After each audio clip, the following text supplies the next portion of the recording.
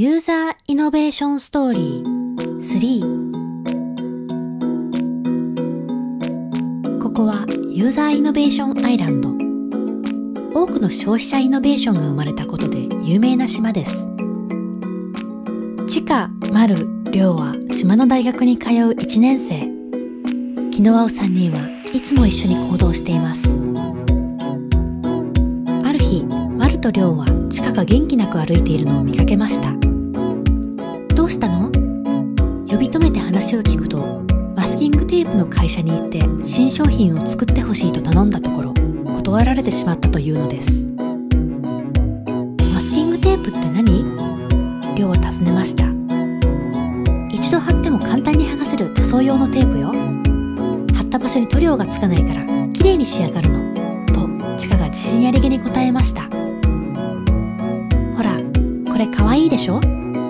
チカがカバンから取り出したのは3色のマスキングテープで彩られた封筒でした。まあかわいい。興奮気味に声を上げたのはいつも元気いっぱいのマルです。マスキングテープには綺麗な色のテープが多いの。剥がし忘れがないようになんだけどいろんな色があって封筒やブックカバー部屋の壁に貼ってみたらすっごく可愛いの。簡単に剥がせるし本当に便利なの。チカは話を続けます。ある日コラージュを作るのに欲しい色のテープがないことに気づいたの。そこで作品を持ってテープ会社に行ってこう言ったの。作品を作るのに必要な色のテープがありません。その色のテープを作ってくださいって。でもダメだったわ。受付で返されちゃった。本当にがっかり。チカはさっきまでの明るい表情が消え元気もなくなってしまいました。どうしたらいいかな？3人は考え込んでしまいました。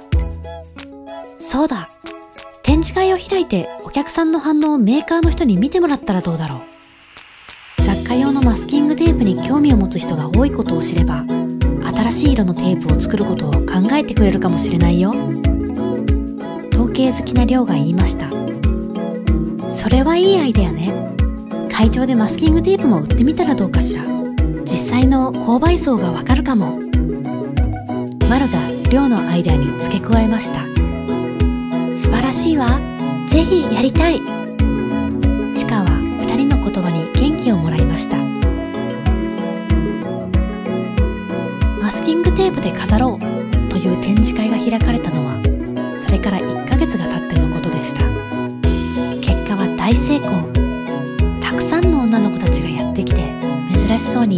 で彩られた作品を見て楽しみました。テープの販売も好評で塗装用の3倍の値段にもかかわらず準備したテープが全部売り切れました。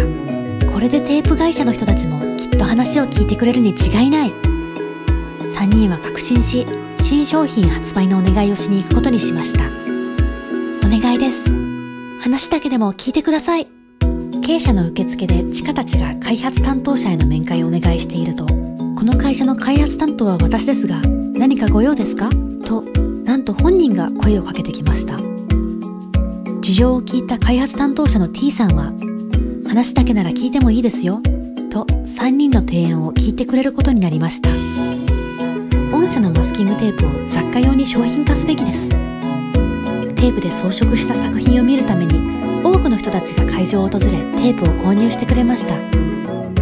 色のバリエーションを増やし雑貨用のマスキングテープを作ってください。